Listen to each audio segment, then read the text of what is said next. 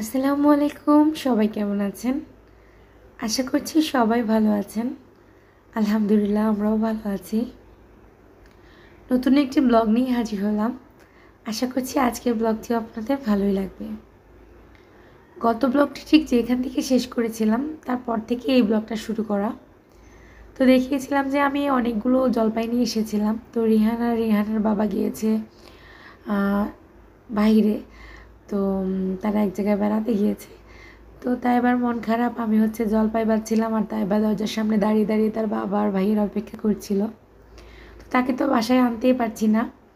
তো সে দরজা খুলে দাঁড়িয়ে আছে। আমি তার সাথে একটু কথাবার্তা বলছি আর এদিকে জলপাইগুলো সেদ্ধ বসিয়ে দিয়েছি।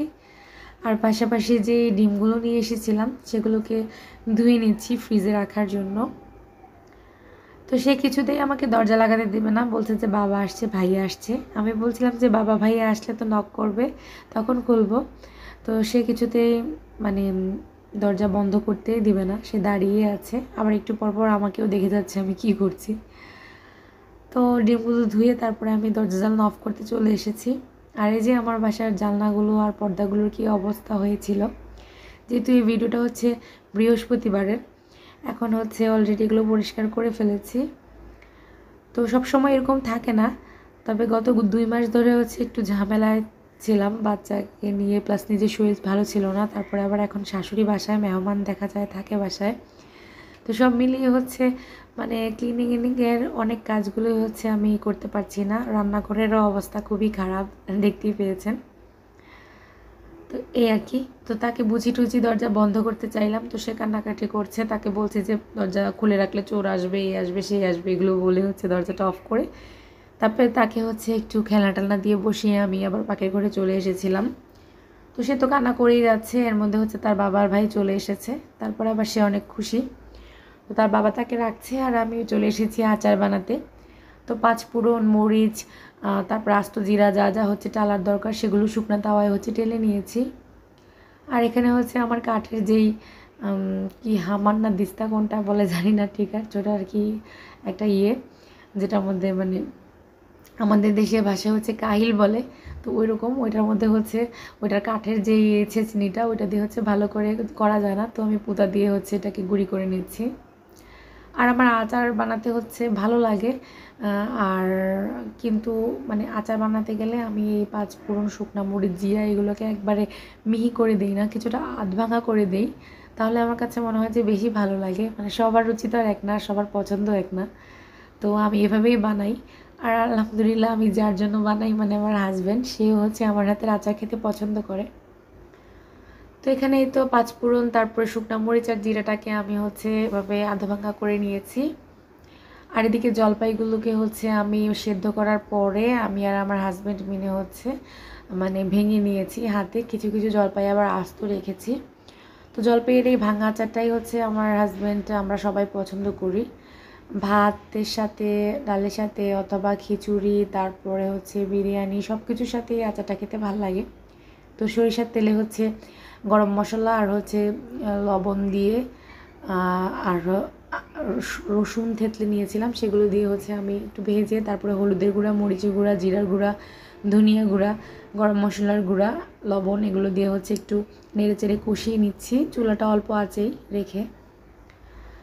আর আমার বাসায় হচ্ছে বড় কড়াই ছিল না, যার কারণে বড় বড় দুইটা পাতিলে আমি আচার বানাতে বসিয়েছি। তবে এগুলোতে বসানোর পরে হচ্ছে বারবার লেগে আসছিল তাই চুলা অল্প করে রেখে হচ্ছে বারবার নাড়াচাড়া করতে হয়েছে। তো কিছুক্ষণ কষানোর পরে এখানে আমি চিনি দিয়ে দিয়েছি আর পাশের চুলাতে আরেকটা পাতিল বসিয়ে দিয়েছি কারণ প্রায় ছয় কেজি জলপাইয়ের আচার তো আর একটা পাতিলে বানানো যাবে না। তো ওই চুলাতেও আমি আচার বসিয়ে দিয়েছি এই যে একদিকে এটা নাড়ছি আর একদিকে ওইটা নাড়ছি। আর চিনিটা থেকে অনেকটা পানি এসে মানে পানি উঠে গিয়েছিল তো কিছুক্ষণ চিনির সাথে কষানোর পরে হচ্ছে আম, প্রায় বেশ পরিমাণ শুকনা মরিচের গুঁড়া সরি ওই যে ভেঙে রেখেছিলাম ভাজা মরিচগুলো। সেইটা, তারপরে হচ্ছে পাঁচফোড়ন এগুলো দিয়ে দিয়েছি। দিয়ে হচ্ছে আবারও কিছুক্ষণ নেড়ে চেড়ে নিচ্ছি। আর এই যে বিট লবণ, যে কোনো আচারে হচ্ছে বিট লবণ দিলে আচারের স্বাদটা আমার মনে হয় দ্বিগুণ হয়ে যায়। তো আচার বানানোর সময় হচ্ছে খাবারের লবণটার পরিমাণটা একটু কমিয়ে দিয়ে উঠানোর আগে যদি বিট লবণ দেওয়া হয়, তাহলে আচারটা খেতে অনেক ভালো লাগে, মুখরোচক হয়। তো এই তো দুটোটা আচার হচ্ছে আর আমার হাতের বারোটা বেজে গিয়েছে নাড়তে নাড়তে। আর এই ভিডিওটা হচ্ছে পরদিন সকাল, অর্থাৎ শুক্রবার সকালবেলা সাড়ে সাতটার দিকে। তো সাতটার দিকে ঘুম থেকে উঠে পড়েছি আর আমার ছেলের ম্যাডাম হচ্ছে এর আগের দিন ফোন করেই বলল যে তাকে শুক্রবার সকালে আটটার দিকে নিয়ে যেতে। শনিবারে ম্যাম পড়াতে পারবে না, তো তাই হচ্ছে তাকে শুক্রবারে পড়াবে। তার তো চোখে ঘুম, সে খেতে চাচ্ছে না, তাও হচ্ছে তাকে জেলি দিয়ে দুটা পাউরুটি দিলাম। সে নাস্তা খাচ্ছে আর এই হচ্ছে আচার। আচার তো এখনও কমপ্লিট হয়নি। রাতে আমার হাত একদম ব্যথা হয়ে গিয়েছিল, তাই নামিয়ে রেখেছিলাম। তো রাতে কিছুটা খাওয়া হয়েছে আর এগুলোকে হচ্ছে রিহানকে প্রাইভেট থেকে মানে আনার পরে তারপরে আবার এগুলোকে নেড়ে চেড়ে হচ্ছে শুকনো শুকনো করে নেব। তো এই যে আমার ছেলের মন খারাপ, একদম কান্নাকাটি করছে, সে যাবেই না। তো তাও হচ্ছে আমি তাকে বুঝিয়ে টুঝিয়ে এ তো নিয়ে যাচ্ছি। তো ভিডিওর এই পর্যায়ে যারা আমার ভিডিও দেখছেন ভিডিওর কোনো অংশ যদি ভালো লাগে, অবশ্যই চ্যানেলটিকে সাবস্ক্রাইব করে পাশে থাকবেন। বাচ্চাদেরকে ঘুম পাড়িয়ে যখন অনেক রাত্রে ভিডিওটা এডিট করি, তারপরে ভয়েস দিই, তখন হচ্ছে আমার কণ্ঠ একদম ভাঙা ভাঙা হয়ে থাকে। আর কেন যেন মানে কথার মধ্যে অনেক জড়তা চলে আসে, অনেক কথা ভুল বলে ফেলি। যদি ভিডিওর কোনো অংশ আপনাদের খারাপ লাগে, তো প্লিজ ক্ষমা দৃষ্টিতে দেখবেন আর কি। রিহানকে তার ম্যাডামের বাসায় দিয়ে আসার পরে হচ্ছে আমি রুটি আলু ভাজি করেছি। আমি আমার রিহানের বাবা তাই বা আমরা সবাই নাস্তা খেয়ে নিয়েছি। বেশ কিছুক্ষণ পরে হচ্ছে রিহান চলে এসেছে। তো এর আগের দিন অর্থাৎ হচ্ছে বৃহস্পতিবার রাতে আমার মেঝো জাল ফোন দিয়ে বলেছিল যে, ভাবি আসবে। তো সকালে আবার সে বলল যে, আসবে না। তাই হচ্ছে ভাবলাম যে, আজকে তেমন বেশি কিছু রান্না করব না। ওর বাবাকে বললাম, বাজার থেকে সিম, আলু, কফি, টমেটো আনবে। এগুলো দিয়ে হচ্ছে মাছ দিয়ে ঝোল করে রান্না করব। একটা তরকারি রান্না করব। এর আগের দিনে তরকারি আছে। তো তারপর আবার মানে যেহেতু কাজ নেই, তাই শুয়ে বসেছিলাম আমি আর রিয়ানের বাবা কথা টথা বলছিলাম। তো এর মধ্যে আবার ফোন আসলো যে, আমার বড় জাল জাল, তারপরে হচ্ছে ভাসুট ওনারা আসবে। তারপরে বড় ননসের হাজব্যান্ড তুলাভাই আসবে। তো তাই হচ্ছে আমি এই তো বিছানা চাদর নামিয়ে নিয়েছি। দুইটা চাদরের মধ্যে কোনটা বিছাবো দেখছিলাম। তো লালটা রাখলাম। আমার মেয়ে বলছে যে, লাল লাল। তো লালটা রেখে হচ্ছে এটাকে আবার রেখে দিচ্ছি পিঙ্ক কালারটা তো রেহানের বাবা বাড়ির মধ্যে বাজারে চলে গিয়েছে। আর রিহান তো চলে এসেছিল। তো রিহানের বাবা বাজার থেকে তো মুরগি নিয়ে এসেছে আর আমি এর দিকে হচ্ছে আদা রসুন চলে নিয়েছি। আদা রসুন বাটা ছিল না। তো বাজার বের করতে গিয়ে আবার দেখি তো সে তার ছেলের জন্য রাবার পেন্সিল, রং পেন্সিল এগুলো নিয়ে এসেছে। তো এগুলো দেখে আবার বাজার ফেলে দিয়ে হচ্ছে ছেলের কাছে আসলাম। তাকে বললাম যে, চোখ বন্ধ করো, তোমার জন্য একটা গিফট আছে। তো সে তো খুশি হয়ে গিয়েছে। বাচ্চারা আসলে এই ছোটো ছোটো জিনিসগুলো অনেক বেশি পছন্দ করে। তো সে তো খুবই খুশি, চোখ বন্ধ করে আছে। তো তারপরে তার হাতে দেওয়াতে সে অনেক খুশি হয়েছে। স্কুলে ভর্তি হওয়ার পর থেকে তাকে এ পর্যন্ত অনেকবারই হচ্ছে রং পেন্সিল, তারপরে ড্রয়িং, খাতা এগুলো কিনে দেওয়া হয়েছে। তবে সে হচ্ছে রং পেন্সিলগুলো হারিয়ে ফেলে, তারপরে ড্রয়িং খাতা আনতাছে এটা সেটা এঁকে মানে এঁকে শেষ করে ফেলে। তো যা হোক, তাও সে আঁকতে পছন্দ করে, ড্রয়িং করতে পছন্দ করে। তার বাবা অনেকগুলো রং পেন্সিল, তারপরে রাবার, কাটার পেন্সিল এগুলো এনে দিয়েছে। সে অনেক বেশি খুশি হয়ে গিয়েছে।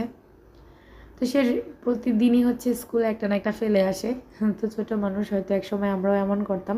তো মাঝে মধ্যে আবার ধমক দেই যেন এই অভ্যাসটা বুঝে, তার নিজের জিনিস নিজে গুছিয়ে রাখাটা বুঝে।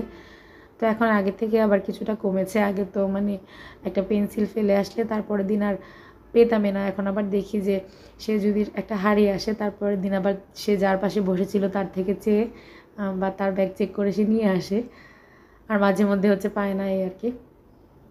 তো সে আবার বলছে, সে এখন ড্রয়িং করবে। তো তার খাতাটা এনে দিলাম। সে হচ্ছে এখন ড্রয়িং করবে। তো আমি আজকে সকাল সকাল যখন শুনলাম আমার জাল আসবে, আমি রুমগুলো চেয়েছিলাম যে গুছিয়ে নেব। কারণ আমি তো এর আগে ভিডিওতে শেয়ার করেছি, কোনো মেহমান আসলে হচ্ছে রুম অগোছালো থাকলে আমার একদম ভালো লাগে না। আমার মনে হয় যে মেহমান আসার আগে ঘরটর গুছিয়ে পরিষ্কার পরিচ্ছন্ন করে রান্নাবান্না শেষ করে সব কিছু কমপ্লিট করে রাখলে সব কিছু ভালো লাগে আর কি আমার। তো ওই দিন হচ্ছে একদমই বিপরীত হয়েছে। সকালবেলা বললাম যে রুমগুলো গুছাই, ওর বাবা বলছে যে তুমি রুম গুছাবা আর এখনই ওরা আলে ফেলবে। তো এর, ওর বাবা না থাকলে সবসময় আগে রুম গুছিয়ে তারপরে আমি রান্নাবান্নায় আসি। টুকটাক কিছুটা অগোছালো করে, সেটা আবার তাড়াতাড়ি গুছানো যায়। তো তার কথা শুনে হচ্ছে আমি রুম না গুছিয়ে বসেছিলাম। মোবাইল ঘাটাঘাটি করছিলাম, তার সাথে কথা বলছিলাম। তো তারপরেই তো বাজার নিয়ে এসেছে। ভাবলাম যে রান্না করতে তো বেশি আর সময় লাগবে না, কারণ আমি একটা রান্না বসিয়ে আর একটা পাশাপাশি কোটাকাটি করি। তো তারপরে ঘটলো এমন ঘটনা যে আর কোনো ভিডিও করতে পারলাম না তাড়াহুড়ার কারণে। কারণ হুট করেই হচ্ছে ফার্নিচার দোকান থেকে ফোন আসলো। আমার এই খাটটা আনার পরে খাটে অনেক সমস্যা ছিল মানে মাচাগুলো একটু নড়চড় করতো। তো মিস্ত্রিকে পাঠিয়েছে, যার জন্য উনি আসার পরে খাটের তোষক মোষক নিচে নামিয়ে মানে রুম একদম গোছালো তারপরে আর গোছাতেও পারিনি। আর পাশাপাশি এই যে আমার খাটের সাইডে একটা ব্যাড সাইড টেবিল দেখতে পাচ্ছেন, এটা অর্ডার করেছিলাম। তো ফোন করে বলল যে এটা বানানো হয়েছে নিয়ে যাওয়ার জন্য, নিয়ে আসার জন্য। তো যেহেতু শুক্রবার ছিল, দোকান বন্ধ হয়ে যাবে, তাই রান্নাবান্না ফেলে আমি দৌড়ে চলে গিয়েছি। ঘরটারও আর গোছানোর টাইম পাইনি, আর ভিডিও শুরুতে দেখেছেন আমার রান্নাঘরের কী অবস্থা ছিল। তো ভেবেছিলাম যে রান্না বসিয়ে পাশাপাশি এই ক্লিনিংগুলো করব। তবে এই খাটের মিস্ত্রি আসার কারণে আর হচ্ছে দোকানে যাওয়ার কারণে হচ্ছে আমি এগুলো কিছুই করতে পারিনি। ওইখান থেকে হচ্ছে বেডসাইড টেবিলটা নিয়ে যখন বাসায় আসলাম, আসার পরে দেখি আমার মেহমান চলে এসেছে আর আমার বাসা অগোছালো। রান্নাবান্না কিছুই হয়নি। পাখির ঘর ঘর সব কিছু একদমই অগোছালো ছিল। তো কী আর করব, মনটা খুবই খারাপ লাগল তাদের সামনে একটু রুম টুম গুছিয়ে তারপরে হচ্ছে রান্নাটা করলাম। তো তাড়াহুড়া করে রান্না করে তাদেরকে খাবার দিয়েছিলাম, তাই আর কোনো কিছুই ভিডিও করা হয়নি। তো এমনটাই আমার সাথে হয়। মেহমান যাওয়ার পরে তারপরে হচ্ছে আমি রান্নাঘরটাকে পরিষ্কার করেছিলাম, যার জন্য হচ্ছে আমি আর রাতে কোনো ভিডিওই করিনি। এটা হচ্ছে পরদিন সকালবেলা। এনার বাবাকে নাস্তা দিলাম আর তার নাস্তা দিতে গিয়ে হচ্ছে পাউরুটি একটা পুড়ে গিয়েছে, তো দেখলাম সে কিছু বলে কি না দেখলাম যে সে না কিছুই বলছে না। তো এগুলোতে সে কোনো কিছুই বলে না মানে একজন অনেক পুরুষ আছে যে অনেক কিছুতে অনেক বাজ ধরে খাবার টাবারে তো সে আবার এরকম না। তো ভুল ত্রুটি হলে হচ্ছে কিছুই বলে না, বুঝে যে হয়তো ভুলই হয়ে গিয়েছে। তো সে নাস্তা খেয়ে চলে গিয়েছে, আমার ছেলে খেলছে আর মেয়ে ঘুম থেকে উঠে পড়েছিল, তারপরে আবার তাকে একটু কোলে নেওয়াতে ঘুমিয়ে গেছে। তো আজকে এই পর্যন্তই, আসসালামু আলাইকুম, আল্লাহ হাফেজ।